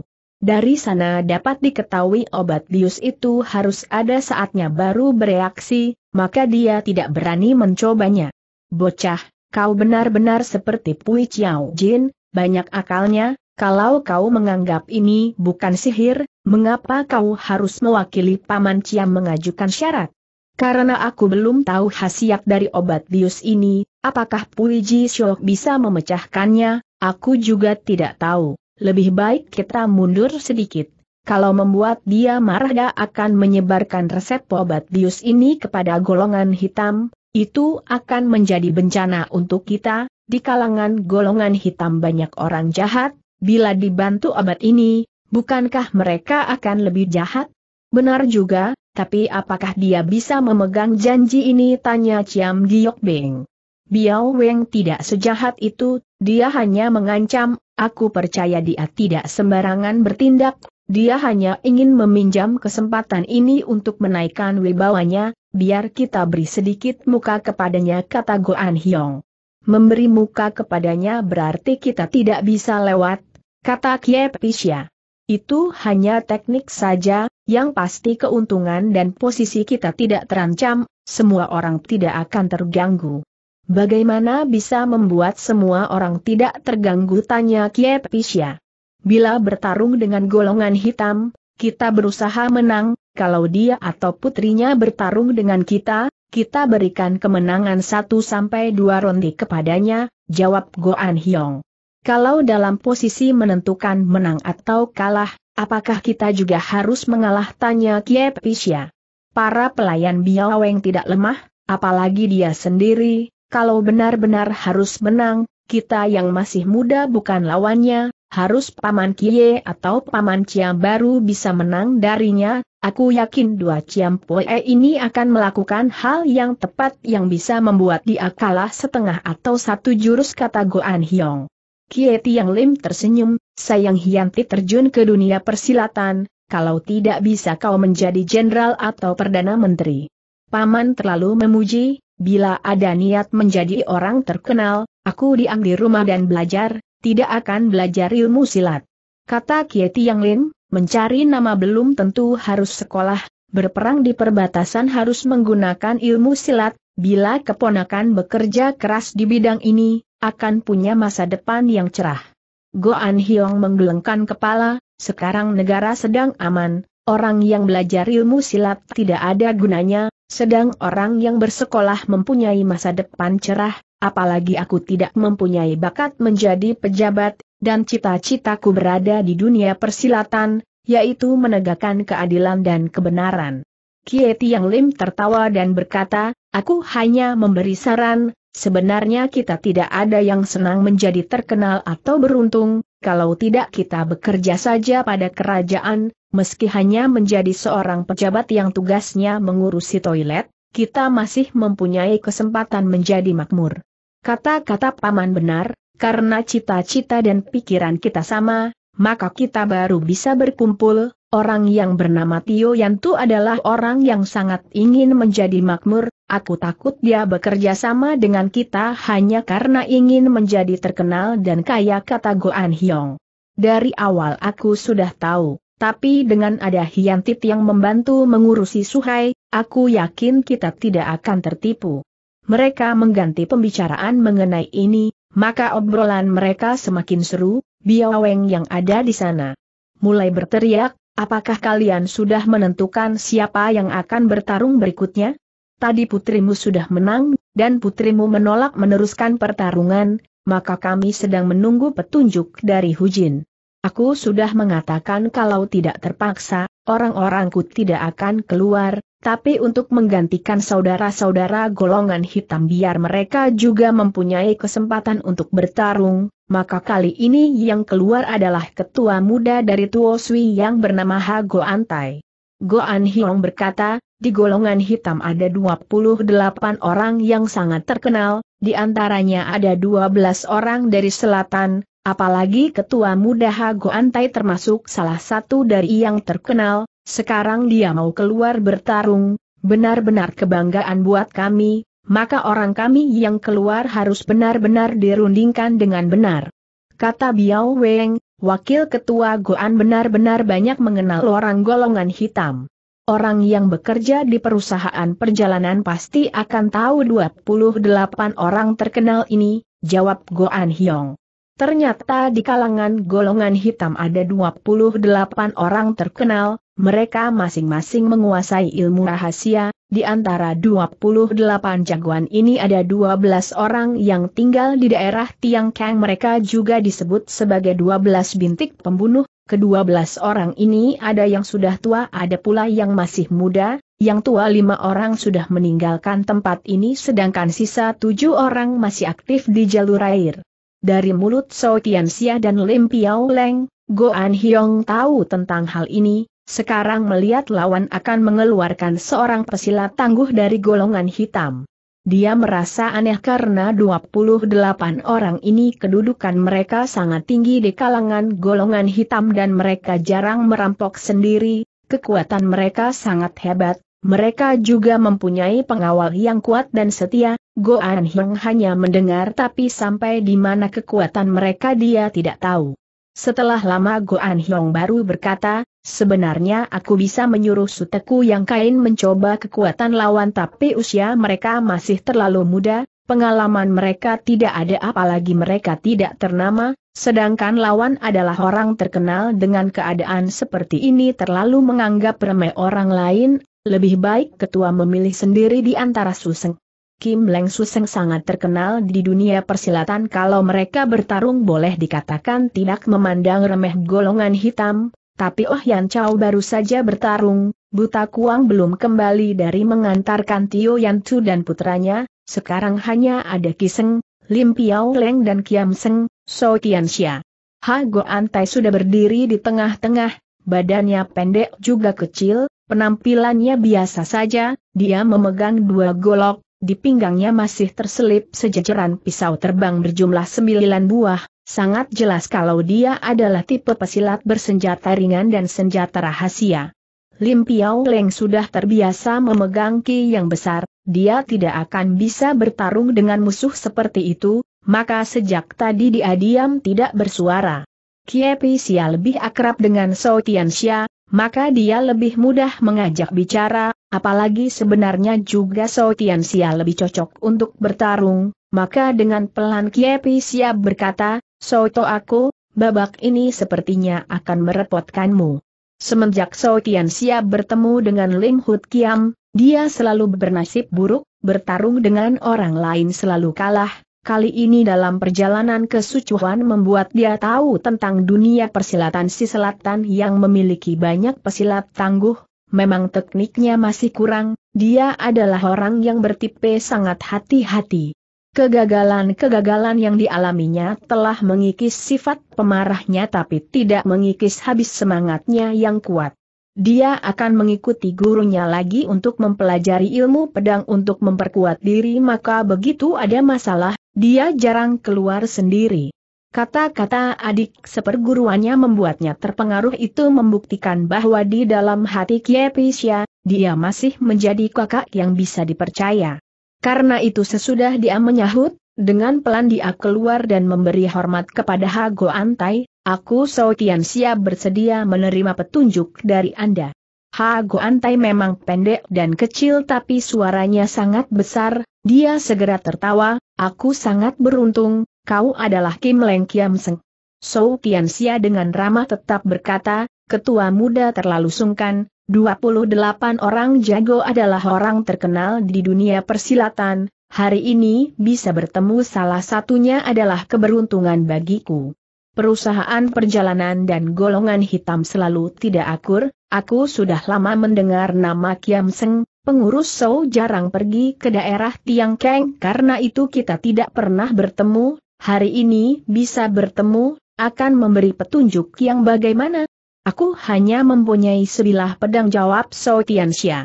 Kalau begitu aku yang beruntung karena aku mempunyai sebelas golok. Selain yang ada di tangan di pinggangku masih terselip sembilan bilah pisau kecil, aku memberitahu dulu sembilan pisau kecil ini adalah senjata rahasia, begitu keluar pasti akan terlihat oleh pengurus show. Orang-orang perusahaan perjalanan tidak pernah menentukan lawan harus menggunakan senjata apa, walaupun itu adalah senjata rahasia, aku juga akan menjulurkan leherku. Hago Antai tersenyum, aku tidak bermaksud seperti itu, maksudku memberitahu hal ini berarti pengurus Sou bukan hanya bisa menggunakan pedang. Kecuali pedang aku tidak mempunyai senjata lain lagi. Hago Antai berkata, pengurus Sou dijuluki Kiam Seng, dengan sebilah pedang bisa menahan ribuan senjata rahasia. Sembilan pisau kecil ini mana bisa dipandang tuan, apalagi murid Kian Kunit Kiam Xiao Pek, selain pedang mereka tidak membutuhkan senjata yang lain, silakan, pengurus. Baru saja akan bersiap-siap, dua golok Hago Antai menyerang seperti angin topan, So Tianxia menahan dengan pedangnya, bersamaan waktunya dia masih bisa membalas menyerang begitu pedang digetarkan dia segera menarik kembali karena serangan kedua kalinya gerakan Hago Antai lebih cepat, hal ini membuat So Tianxia tidak mempunyai waktu menyerang kecuali bila ingin kedua-duanya terluka. Saat mulai bertarung, sampai sepuluh jurus lebih selalu seperti itu, membuat Kieti yang Lim yang berdiri di pinggir terus. Mengangguk. Dia berkata kepada Chiam Giok Beng dan Goan Jit Hong, orang berbakat dari kalangan hitam benar-benar banyak, memang buta kuang dijuluki Tuseng, Dewa Golok, bila bertemu dengan Hago Antai belum tentu dia bisa menang, di antara 28 jago itu, ada beberapa yang sudah tua dan aku kenal dengan mereka, tapi mereka tidak sekuat yang muda-muda. Biasanya pesilat tangguh jarang ada yang menggunakan dua tangan dengan dua senjata karena menggunakan dua tangan dipergunakan sulit untuk berkonsentrasi, artinya pemusatan pikirannya terbagi menjadi dua, satu orang dengan dua tubuh mengapa orang itu begitu lancar melakukannya, benar-benar berbakat. Memang dua golok Hago Antai sangat kuat. Biasanya orang yang menggunakan dua senjata selalu menyerang dengan dua jurusan, waktu, dan arah yang sama, tapi Hago Antai selalu menyerang yang satu di depan yang satu di belakang, begitu juga dengan jurusnya yang tidak sama, arahnya pun tidak sama, golok yang satu baru tiba golok yang lain mengikuti dari belakang, membuat lawan jadi kerepotan. Beberapa kali So Tianxia menyerang tapi sampai setengah selalu menarik kembali pedangnya untuk melindungi diri, karena kedua golok Hago Antai tidak ada gerak tipuan, semua adalah jurus menyerang dengan sangat cepat. Dari awal selalu menyerang dengan cepat dan aneh, terhadap pedang Sia dia sama sekali tidak menaruh di hati, perhatiannya hanya tertuju kepada kedua goloknya, bila Sia memiliki kesempatan menyerangnya, dia tidak menghindar tapi golok kedua sudah datang, terpaksa dia melepaskan keinginannya menyerang. Dengan konsentrasi penuh dia menghindar atau memusnahkan serangan yang datang bertubi-tubi. Orang ini benar-benar tidak sayang nyawanya. dia hanya menyerang dan tidak melindungi diri, bila Soto aku tadi tidak melayaninya, dia harus bagaimana tanya Kie Pisya. Goan Hiong berkata, itulah kepintarannya, sekarang bukan waktunya bertarung mati-matian, tapi dia dengan cara mati-matian, otomatis dia berada di atas angin. Tapi Soto aku akan diserang terus dan tidak bisa membalas, Bila tidak bisa bertahan lagi, dia akan menyerang balik kata Kie Pisya. Aku tidak tahu Soto aku sangat berpengalaman selalu bertahan sambil menyerang, mungkin setelah tahu kelemahan lawannya, dia akan menyerang kata Goan Hyong. Dengan marah Kie Pisya berkata, dia hanya bisa bermain keras dan licik, kalau aku yang berada di posisi Soto aku aku akan menyerang dan menghajar dia. Kie Tiang Lim mengerutkan alis dengan suara kecil berkata, Xiaji, sifatmu yang cepat marah ini kalau tidak berubah kau yang akan rugi, orang lain berani keras melawan keras, dia pasti yakin bisa mengalahkan, kalian harus banyak melihat bagaimana Tian Tianxia menghadapi orang itu. Orang-orang dunia persilatan ganas juga sadis, mereka banyak akal busuknya, kalau tidak hati-hati kita sendiri yang akan terpancing. Kiepisia jadi terdiam, setelah 30 jurus hampir berlalu, So Tianxia tetap dalam posisi bertahan dan tidak mempunyai kesempatan menyerang, tapi dia bertahan dengan ketat. Serangan Hago Antai selalu diatasi dengan tenang. Hampir 40 jurus berlalu, So Tianxia mulai terlihat tidak sabar, tiba-tiba dia menyerang ke jantung Hago Antai, dia sama sekali tidak melihat serangan golok Hago Antai, Hago Antai membiarkan ujung pedang lawan terus melaju ke dadanya, dia menepis dengan golok pada posisi miring, kelihatannya kedua belah pihak akan beradu, tiba-tiba tangan So Tianxia diangkat, ujung pedang yang tadinya mengarah ke jantung, sekarang diarahkan ke tenggorokan, wajah Hago Antai berubah, dia berusaha ingin menghindar tapi tidak sempat lagi, Terpaksa dia menarik jurus yang bertumpu di pundak, ujung pedang dengan tepat melewatinya. Kedua belah pihak terhindar dengan hanya berselisih jarak sedikit. Kedua orang diam dan menghentikan pertarungan, Hago Antai tersenyum, pengurus Sou benar-benar cepat dalam mengubah jurus. Sou Tian siap berkata, tadinya aku mengira ketua muda benar-benar ingin mengadu jiwa, ternyata hanya mencoba-coba saja. Hago Antai juga berkata, Mengadu jiwa harus melihat hasilnya dulu, kalau seranganku bisa melukai pundak pengurus So tapi ujung pedang Anda akan mengambil nyawaku, bila dihitung-hitung aku akan rugi, jadi aku tidak mau mati-matian meneruskannya. Kalau aku tidak mengubah jurusnya, pedangku akan menembus jantungmu, apakah Chuan masih bisa hidup?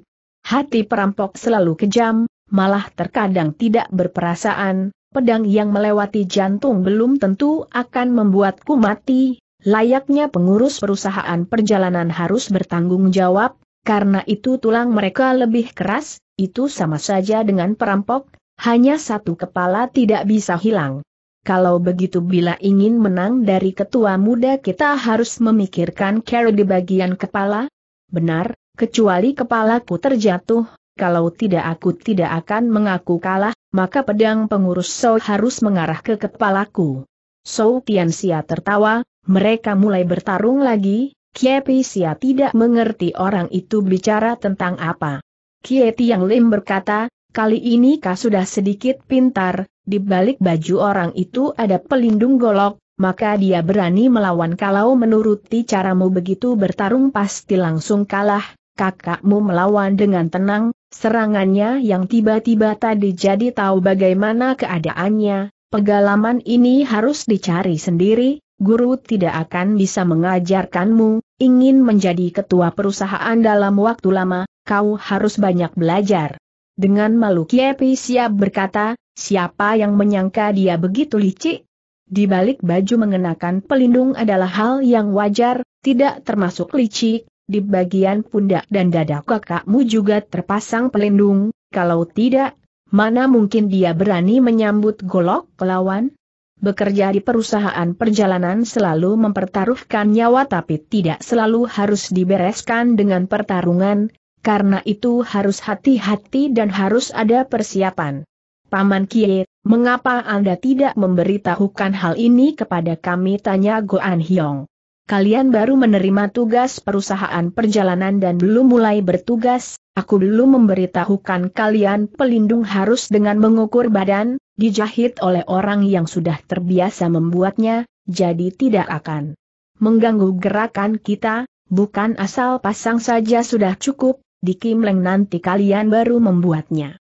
Pertarungan semakin seru ada yang menyerang juga ada yang bertahan, mereka masing-masing tahu kekurangan dan kelebihan lawan, tapi tetap terlihat So Tianxia berada di bawah angin, karena yang bisa diserang hanya bagian kepala dan leher, dia sangat bisa melindungi kedua tempat ini, 20 jurus berlalu lagi, tiba-tiba So Tianxia mengeluarkan jurus aneh, dia menghindari kedua golok Hago Antai dengan cepat menarik lehernya, pedang So Tianxia ke bawah, Hago Antai mengangkat golok balik menepis, sewaktu So Tianxia menahan dengan pedang, tiba-tiba Hago Antai memegang dua golok di satu tangan, dia mengunci pedang So Tianxia.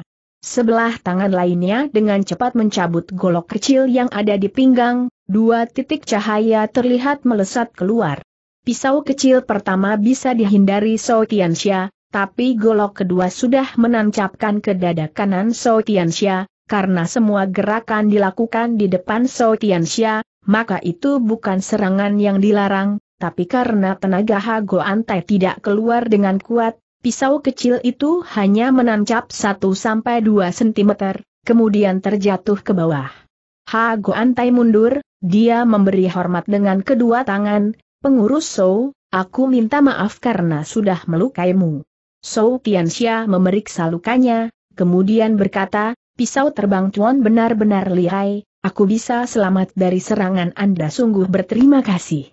Tidak perlu sungkan, kita bukan bertarung secara betulan, sampai titik terbatas sudah cukup, aku sudah melukai Anda, maafkan aku. Tapi Biao Weng dengan wajah marah berkata, Ketua muda, cepat kembali orang lain terus mengalah, kau masih tidak tahu malu terus bicara. Apa maksud Ketua Biao tanya Hago Antai dengan aneh. Lihatlah dadamu. Begitu Hago Antai melihat, baju bagian dadanya sudah digores oleh pedang, kulit bagian dalam sudah terlihat, wajahnya berubah dan bertanya, pengurus Sou, kapan kau menggoresnya? Sebelum kau mengeluarkan pisau terbang, kalau dia menginginkan nyawamu pedang itu sudah membelah dadamu, apakah kau masih ada waktu menggunakan golok terbang tanya Biao Weng. Ha Go Antai menundukkan kepala, lama baru berkata, pengurus Sou bisa menggoresku, benar-benar di luar dugaanku. Kata Biao Weng, kau sengaja bertarung mati-matian supaya orang menyangka kau menggunakan pelindung, kau hanya bisa menipu sebentar, semakin lama orang lain melihat kau begitu lincah tidak seperti menggunakan pelindung, orang lain tidak akan tertipu lagi. Sou Tianxia baru berkata dengan tersenyum, aku tidak mendengar dari kata-kata Hujin tadi, aku pikir 28 orang terhebat di golongan hitam tidak akan mau menggunakan pelindung, maka aku tadi mencoba-coba saja.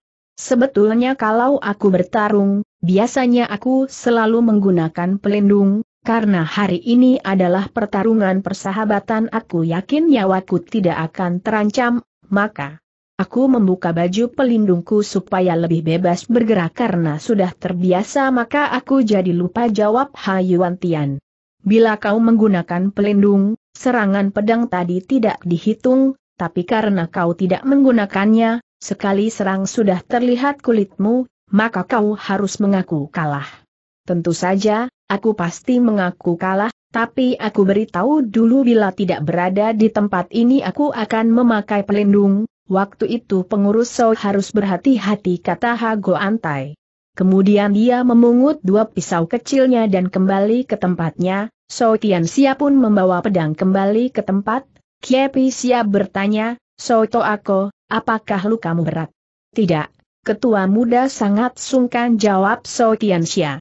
Dengan dingin Biao Weng berkata, hari ini kita bertanding secara teknik, semua orang melakukan dengan sungkan, tapi bila perusahaan perjalananmu akan membuat kehidupan golongan hitam terputus, kami akan mempertaruhkan nyawa untuk bertarung, waktu itu kita akan mengandalkan nasib masing-masing. Apakah maksud Hujin, pertarungan hari ini tidak diperhitungkan tanya Kiep Pisya? Tentu saja diperhitungkan, hanya ketua perusahaan dari awal sudah mengatakan tidak ingin melakukan hal sesuai aturan biasanya, walaupun perusahaan perjalanan kalian kalah, kau pun tidak akan berbagi sesuap nasi kepada golongan hitam, maka kami juga tidak menjamin kelak tidak akan mengganggu perusahaan perjalanan kalian. Kalau begitu apa maksud rapat akbar hari ini tanya Kiep Pisya. Biao Weng menjawab, untuk menguji ilmu silat semua orang, sesudah tahu akan mendatangkan kebaikan, kalau perusahaan perjalanan kalian tidak bisa melewati ini, lebih baik kalian jangan lewat enam provinsi di bagian selatan untuk mengantarkan barang, atau kalian bisa mencari pesilat yang lebih tinggi ilmunya untuk mengantarkan barang dengan begitu baru terjamin tidak akan terjadi sesuatu, hari ini golongan hitam kalah dari kalian, tapi kelak kami akan menghadang kalian di tempat lain. Kiepisia tidak bisa menjawab, lama dia baru berkata, untuk apa? Lebih baik kita bereskan sekarang juga, tidak perlu berbelit-belit, bukankah itu lebih baik? kata Biao Weng, kami punya aturan, kecuali untuk balas dendam atau demi usaha, kalau tidak kita tidak akan melukai orang, pepatah mengatakan, perampok juga ada aturan yang mereka buat.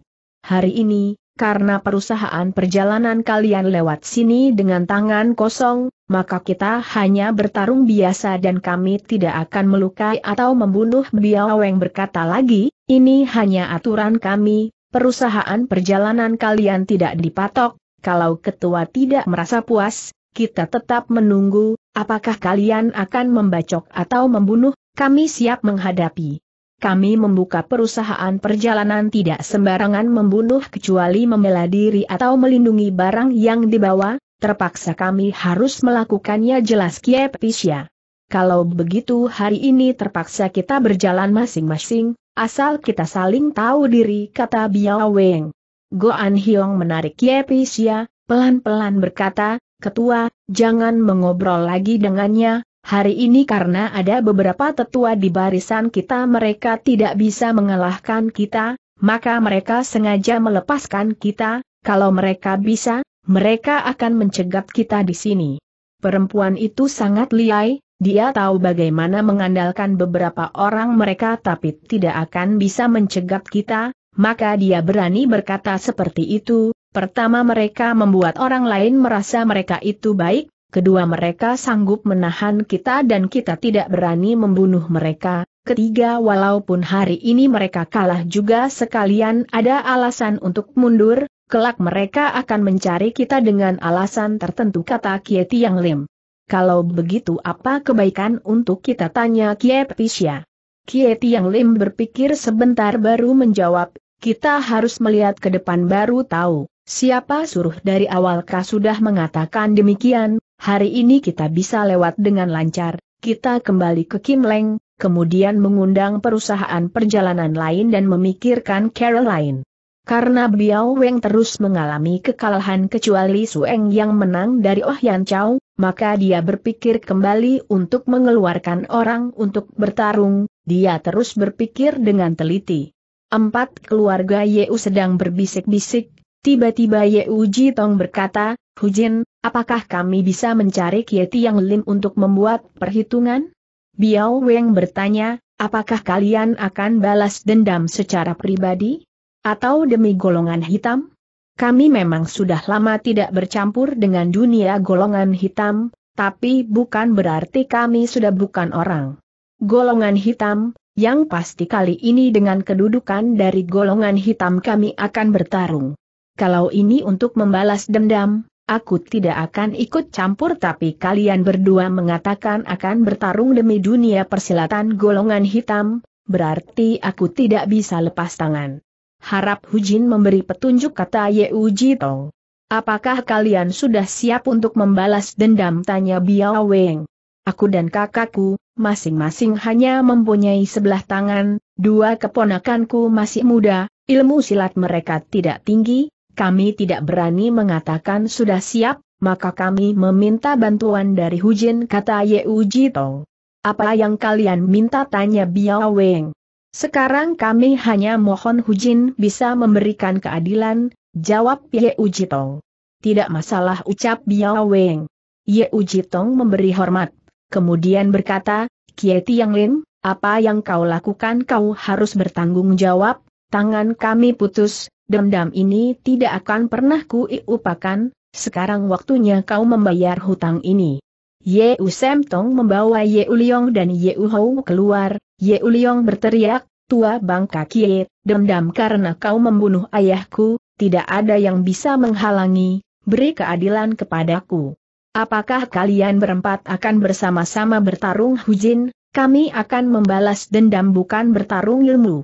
Silat, kami berempat ingin membunuh orang yang telah membunuh keluarga kami, maka kami berempat akan bersama-sama bertarung. Apa pendapat Kietai Hiap tanya Biao Weng?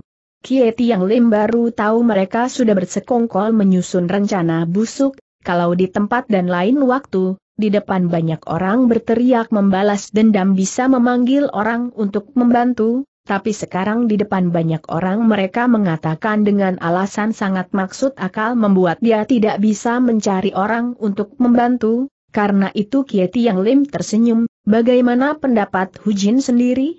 Tentang balas dendam, sulit dibicarakan, yang dua sudah tua, mereka ingin membalas dendam karena kau sudah membacok putus tangan mereka, yang muda ingin balas dendam karena kau telah membunuh ayah mereka, mereka sama-sama ingin membalas dendam kepada Kietai Hiap dan mereka ingin membela kebenaran, kalau menurut Kietai Hiap, aku harus bagaimana? Benar-benar kurang ajar, kalau ingin balas dendam pun tidak bisa empat lawan satu Kiepi siap berteriak. Inilah membalas dendam secara langsung, maka tidak bisa ditentukan dengan jumlah orang, bila di pihak kalian masih ada orang yang mempunyai dendam dengan keluarga Yeu, dia bisa bergabung dengan ayahmu, kalau tidak, terpaksa ayahmu harus melawan mereka sendiri. Sebagai putrinya, aku bisa bergabung dengan ayahku melawan mereka seru Kie Pisya. Biao yang menggelengkan kepala, tidak bisa. Bila ayahmu terbunuh oleh mereka, kau boleh mencari mereka untuk membuat perhitungan, berapa orang yang akan balas dendam. Demi ayahmu, aku tidak akan melarang, tapi sekarang aku tidak akan mengizinkan ada orang yang membantu. Keadilan apa yang hujan ambil teriak Ye Pisya. Wajah beliau yang terlihat marah, kalau kau ingin campur tangan, aku dan saudara-saudara di sini tidak akan berpangku tangan, waktu itu kita tidak ada alasan yang akan dibicarakan. Kie Pisya ingin mengatakan sesuatu, tapi Kie Tiang Lim sudah membentak, Pisya, jangan banyak bicara, bila aku benar-benar terbunuh, kau boleh datang membantu, sekarang kau adalah ketua perusahaan perjalanan Suhai, jangan karena keinginan sendiri membuat semua orang jadi repot.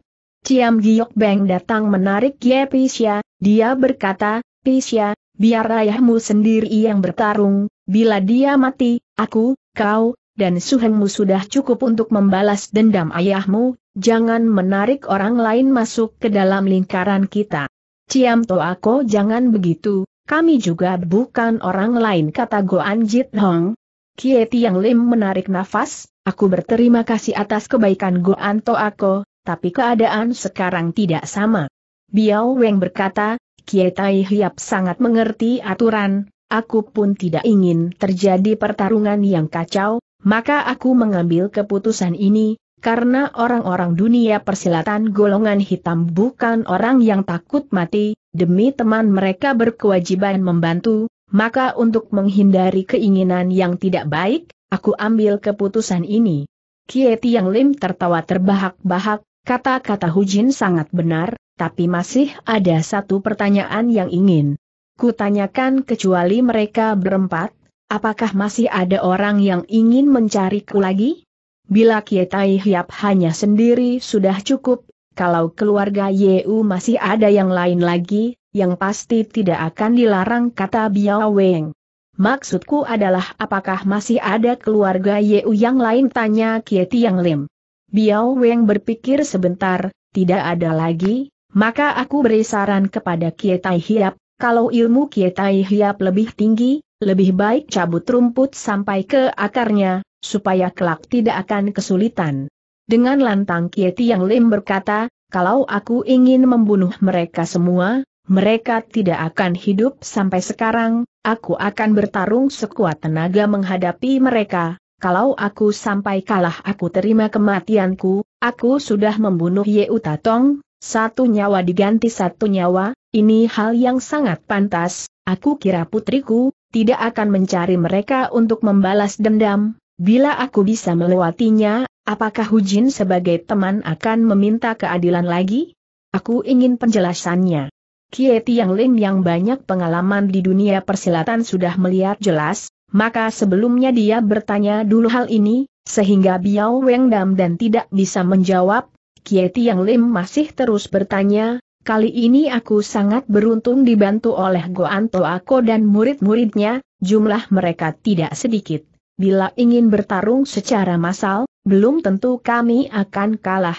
Bila hujan ingin mencegat kami, mungkin Hujin harus membayar dengan harga lumayan tinggi, aku kira Hujan tidak ada hati mengasihani orang, juga tidak akan mengurusi masalah orang lain, sampai-sampai ingin membantu membunuh, dengan begitu aku akan setuju, maka aku minta jawaban yang jelas dari Hujin.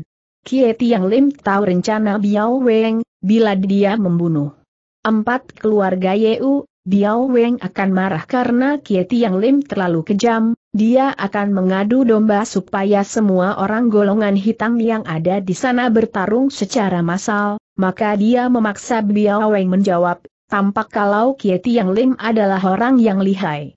Terpaksa Biao Weng berkata, kalau Kie Tai Hiap bertarung sendiri, aku jamin orang golongan hitam tidak akan campur tangan untuk hal ini. Cukup, kalau tidak teman-temanku yang ada di dunia persilatan, seperti Goan Jit Hang yang keluar dari Kiong Kie juga tidak akan berpangku tangan, balas dendam tidak akan ada habisnya, aku harap Hujen berpikir dulu.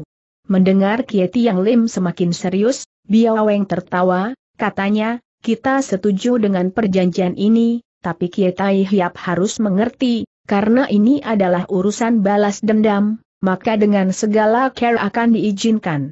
Tentu saja, nyawa marga Kie hanya ada satu bila sanggup ambillah dengan care apa pun. Biao Weng bertepuk tangan, baiklah. Silahkan kalian bereskan sendiri, aku ingin menegaskan lagi, dalam pertarungan ini tidak ada orang yang boleh ikut, kalau tidak jangan salahkan aku. Kie Tiang Lim menoleh kepada Chiam Giok Beng dan berpesan, Suheng hanya kau yang bisa menahan Pisya, mohon Suheng perhatikan dia, dalam situasi apa pun jangan sampai dia ikut campur.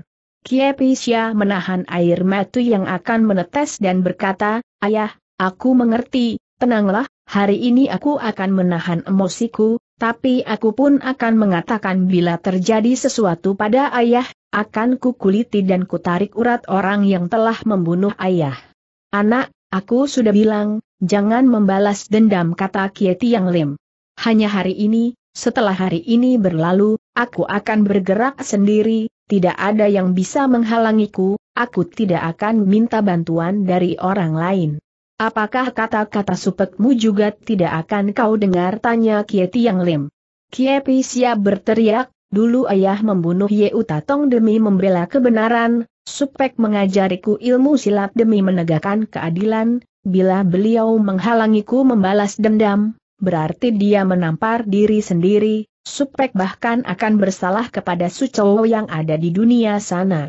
Ciam Giok Beng menarik nafas, Sute, kata-katanya benar juga, bila aku melarangnya membalas dendam, berarti belajar ilmu silar percuma saja, belajar ilmu silat kegunanya untuk menegakkan keadilan, tapi kita selalu tunduk kepada orang jahat, lebih baik kita bunuh diri saja, Hari ini aku bisa melarangnya jangan sembarangan bertindak kelak. Aku tidak bisa melarangnya melakukan hal yang dia inginkan, paling baik kau hati-hati terhadap pertarungan ini, jangan pikirkan hal yang lain. Kieti yang Lim menarik nafas, dia mengeluarkan pedang yang terselip di pinggangnya, pelan-pelan dia berjalan ke tengah lapangan, Yeu Jitong Yeu Sem Tong masing-masing. Membawa sebuah tongkat, Yeu Liong Yeu Hou masing-masing membawa golok, mereka berempat mengurung Kie Tiang Lim. Kita sudah pernah bertemu dua kali, maka kita sudah tahu kepandaian masing-masing, ilmu silat kalian memang ada kemajuan, tapi kalau ingin menang dari pedang yang ku pegang rasanya masih kurang sedikit. Karena itu aku nasihati kalian, jangan lama-lama membuatku menunggu, apa yang kalian kuasai cepat keluarkan supaya tidak habis waktu. Mereka meraung, dua tongkat dan dua golok, bersamaan waktu menyerang, tapi semua ditahan oleh pedang Kie Tiang Lin, balik pedangnya balas menyerang, Lantiang Siang Set muncul kembali, karena mereka ingin membalas dendam. Tentu saja ilmu silat mereka tidak bisa dibandingkan lagi, apalagi Ye Uliong Ye Uhou mereka tumbuh besar dalam suasana ingin membalas dendam, maka ilmu silat mereka pasti sangat ganas, mereka mempunyai tambang emas di pinggir sungai Lantiang, harta mereka sangat banyak, dengan uang yang begitu banyak mereka mengundang pesilat-pesilat tangguh untuk mengajari kepandaiannya kepada mereka. Maka ilmu mereka mengalami kemajuan. Saat Kieti yang Lim berulang tahun yang ke-60, di perusahaan perjalanan Suhai, dua bersaudara ini dengan barisan goloknya mengalahkan Kim Leng Suseng, walau tidak mengandalkan barisan golok, ilmu silat mereka memang tinggi, tidak berada di bawah pesilat-pesilat tangguh, kalau tidak mereka tidak akan begitu terkenal apalagi sekarang didukung Biao Weng. Ilmu pedang bisa matang karena pengalaman, tidak perlu meragukan ilmu pedang yang sudah berada pada taraf kesempurnaan, tapi satu lawan empat, dia tetap merasa kewalahan. Satu-satunya yang bisa diandalkan adalah jurus-jurusnya yang matang dan sempurna, tapi empat orang yang ada di depannya sepertinya mereka tahu kekurangan dan kelebihan masing-masing, taktik bertarung pun seperti sudah disusun begitu rapi, mereka sangat kompak, masing-masing bertarung pada posisi tidak sama dan tempat di mana mereka menyerang adalah tempat terpenting Kieti Yang Lim. Mereka berempat menyerang juga bertahan, posisi mereka tidak berubah, tapi begitu melancarkan serangan, serangannya mati-matian, satu lawan satu Kieti yang Lim bisa bertarung dengan santai, satu lawan dua masih bisa menyerang dan bertahan, satu lawan empat, dia kewalahan juga, apalagi tujuan empat orang ini adalah membunuhnya.